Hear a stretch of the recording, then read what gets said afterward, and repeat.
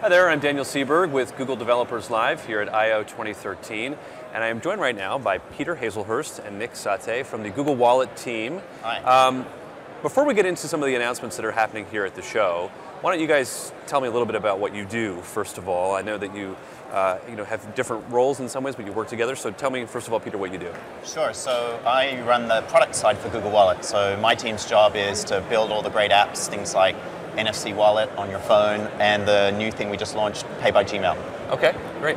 In my role, I'm part of the engineering organization. And I, keep, I try to keep uh, Peter and his team honest in some ways, uh, mostly focused on the merchant and developer side of, uh, of the capabilities that we build. Okay, great. Well, let's so let's dive right into some of the announcements. What is new with with Google Wallet, and what in particular was announced here at the show? So at the show today uh, and yesterday, we announced three new things. Um, first of all, we announced our Instant Buy SDK for Android, and that allows developers to make easy checkout uh, options for their apps for things like physical goods and services. And uh, the second thing we launched was also our new uh, Wallet Objects APIs, so the ability to add things to the Google Wallet, uh, like boarding passes, tickets, loyalty cards, offers, things like that. And then the third thing we announced, uh, which was really exciting, was our ability to attach money in Gmail. Right, now we're going to get into some of those a little bit more, but tell me, are you thinking about expanding Google Wallet into a platform, in a sense, beyond just what it is right now? Yeah, so what we're really shooting for is to try and broaden Google Wallet so that it's no longer just tied to something that you do on your phone.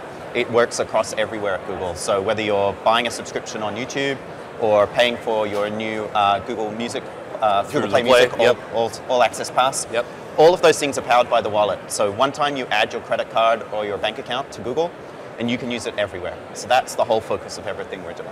And how much of a challenge is that to, to kind of integrate all of those different services and devices together? I mean, this is obviously something you guys think about a lot.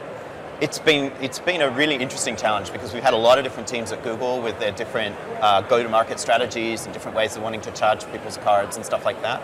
Plus, we also wanted to make sure it works on all sorts of devices, and that's been a real growth opportunity for us. All right, Nik, tell us about uh, Google Wallet Instant Buy. Um, what is that all about? I mean, I think the name obviously suggests what it does, but you know, talk to me about some of the partners that are launching as, as, as a part of that. Sure. Um, so what we uh, what we saw was that uh, the Play Store does a great job of allowing uh, application developers on Android to monetize in-app digital content, but there really wasn't a good solution for merchants that were actually selling physical goods on uh, on Android apps and and uh, uh, other capabilities. Um, increasingly, we've seen this is not just online merchants with an app, but even people like Uber, one of our launch partners, where you complete the transaction and pay for it on your phone, even though the goods and services are actually delivered in the physical world. So we're seeing a lot of those sorts of crossover use cases, and those are the merchants that we believe can really benefit from Instant Buy. Uh, from a merchant standpoint, one of the biggest problems with conversion in mobile checkout um, has been abandonment rates. Uh, where there's just too many clicks, too many keystrokes that you have to enter. It's a pain in the ass. Oops. Uh, and I think that it, uh, it's one of those things that, that all of us need to, uh, would love to see happen better. And we've created a capability combined with G Plus sign-in, uh, the ability to have much, much fewer clicks. And we hope that we'll reduce the abandonment rate from, I think it's around 97% uh, according to one survey that we recently saw uh, down to something where it's as little as a couple of clicks and you're, and you're right through a checkout process very easily. You mentioned Uber, and I know a lot of folks, um, you know, in, in, the Bay Area rely on it. Even in New York, I know there's, you know, people all over the country, and the world, frankly, thinking about how that ties into their, their getting around needs. And, and what I've noticed, I mean, it's almost a no-click situation. I mean, it's right. so seamless right. when you make that payment you forget that you're making the payment, which I think is, is, is great. I mean, right. it, it, removes that kind of friction or barrier, and, and, I guess that's a great example of that. Are there other partners you can you can point to? Sure. Yeah, I, I, didn't want to leave anyone out, yeah, so sure. I actually wrote them down. Yep. Uh, but we had 11 partners that have already integrated. The apps are available on uh, on the Play Store to download and, and use, integrated with Google Wallet. Uh, Airbnb, Booking.com, Expedia, The Fancy, uh, GoPago, TagStand, Uber, Tabbed Out, Wrap, Priceline, and Rue La La. So those are the 11, uh, 11 partners that, that launched with us yesterday. Um, a lot of them actually are in this kind of crossover space where you're making a reservation online uh, or on your mobile device, but you're actually staying in a hotel and, or, or, renting a car or whatever it happens to be in, in the physical world. Uh, from a merchant standpoint, what they've told us was that this integration is really easy. It doesn't, they don't pay any new fees to us. The, the capability we provide is a value added service with, without charging them. They still continue to process their credit card transactions the same way that they would. Uh, and hopefully we'll be able to show that, uh, that conversion uplift, which some of our, uh, our case studies have already shown uh, is happening. So, uh, Peter, let's move on to Attach Money in Gmail, yeah, uh, sure. which was announced yesterday. Before we came on the air here, you, you, mentioned what somebody had said about it as an announcement. What did they say in terms of the yeah, announcement? Yeah, we, we got some great feedback. It was one of the quotes we got was, "It's the craziest new thing we've heard at Google I/O all day." Yeah. So that was really exciting. And I think what we did, which was kind of fun, is rather than just blast out a new feature to everybody, we've launched it virally. And the way it works is the only way you get the feature is if someone sends you money. Ah, and so to okay. jumpstart the ecosystem, we have all the Googlers in the US. And then yesterday I sent 10 bucks to everyone that was at I.O. with a US account.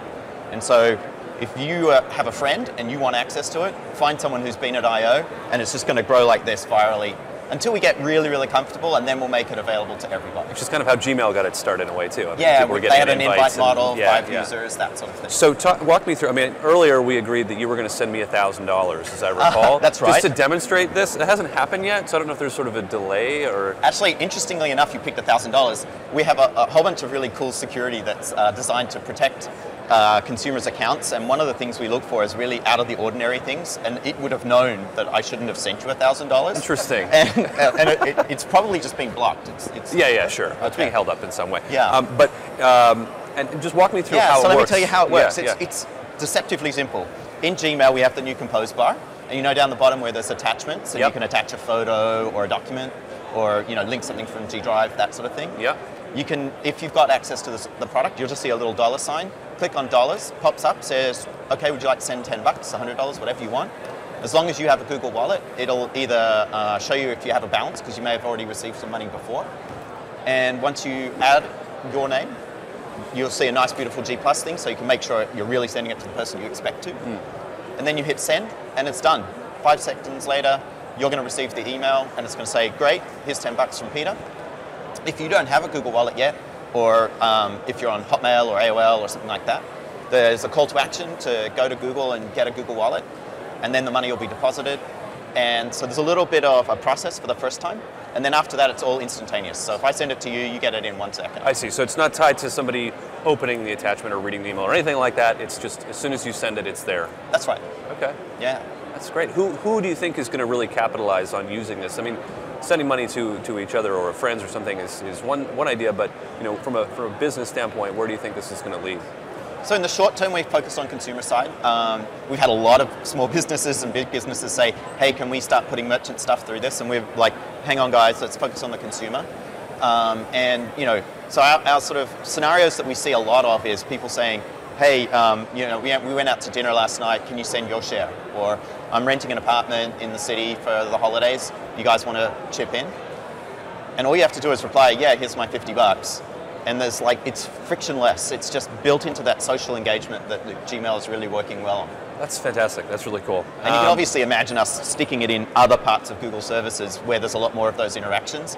And so we're, we're going to work on that over the rest of the year. It seems like a ton of potential for something like this. Yeah. Um, now, Nik, I, I want to get into the types of things that you can store in Wallet because, um, you know, tell me about all of the things I guess that you can store in Wallet, which uh, leads me to the question of what can you store in Wallet? Sure. Um, so when we designed the Wallet Objects API, our intention was to create a very flexible data model that basically allows developers' imaginations to dictate what gets stored in, uh, in the wallet.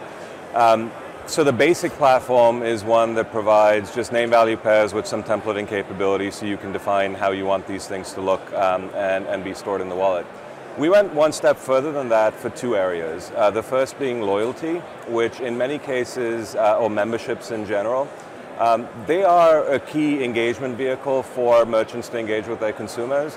Um, and it, the, the current process is very broken. We all have you know, tons of loyalty memberships and we don't really use them um, because we don't carry around a stack of cards like that, uh, other than Peter and I who actually have a second wallet that has all of our uh, uh, loyalty memberships and that's what I want to get rid of. Um, and we've gone to, uh, the, the, the, additional things that we focused on in loyalty is adding some semantic definition to that object um, and some additional capabilities like leveraging your, uh, the, the data that we already have about a consumer in, uh, in their account, in their wallet, uh, to do instant sign up so a merchant can um, actually have their program discovered. I can walk into the Marriott down the road, which is where we're staying. Um, uh, we will, based on location and timeliness, surface that as, you know, hey, maybe you should sign up for Marriott. If you already, uh, if you already have one, we'll show you the card that, that you have. Uh, if you don't have one, we'll surface it, uh, surface it saying, hey, sign up today, and Marriott could offer them a 100, you know, a 1,000 point bonus to sign up instantaneously. It's one click, you're done. Um, and merchants get much, much better data because in most cases, wallet accounts have gone through some know your customer uh, validation, so we have verified data about a customer. There's, there's no more, you know, Elvis Presley and Mickey Mouse uh, ending up in people's, uh, in people's systems. And the second area that we've done more with is offers, uh, where again we've added semantic definition. So like one of the fields that we have is an expiration date for an offer, and the system automatically recognizes that and, and does alerts and, and notifications to consumers saying, hey, you have a coupon that's about to expire. Um, we expect to take those, those two types and extend them into other verticals, um, mostly driven by uh, you know, the developer community and what they tell us is important. Um, but we'll focus mostly on, uh, on commercial objects. We already have a partner, uh, BillGuard, that's doing something very interesting with the more generic uh, capabilities that, that the platform provides um, where they have a back-end fraud detection system. You register your credit cards with them, um, and they send you alerts and actually transaction records, and, and it's actually a very beautiful interactive experience. Uh, right there in your wallet. Hmm, that's great. And, and, offers also showing up in, in the Maps experience too? Right. I mean, as people are right. searching for pizza or coffee, or they, they, yeah. they yeah. get that increasingly suggested to them as yeah. part of the new. That's right. So one of the core things we've focused on in the wallet is pretty much allowing, make it possible for all those things you would normally carry with you, but some, either you forget or you just say, you know what, it's not worth it to carry that gift card. I'm never going to use it again. Yep. We let you bring that into the digital cloud with Google, and then we'll surface it to you on your phone or on the web or in Maps at the right place and at the right time. Mm. So you never forget that thing that you had that's going to create value for you. And and it's this continuous experience. And what Nik was talking about is we're starting off with some really obvious things like loyalty cards and offers. And then as the developer community grows, we're going to pick off those key categories and make them more first class things in the wallet. Tickets is a really obvious one. We've got a lot of interest from um, movie theaters and stuff like that, that they want to be able to have the ticket so that when you buy it through Instant Buy online, you can also then just have the uh, barcode on your phone. We'll geofence you as you come into the movie theater, scan your barcode, keep going. You don't talk to anyone, you don't need to do credit cards, it's all just magic. That's awesome. All right, well, so we're running out of time here, but sure. if people want to learn more about all of this, whether from the merchant side or the consumer side, where can they go?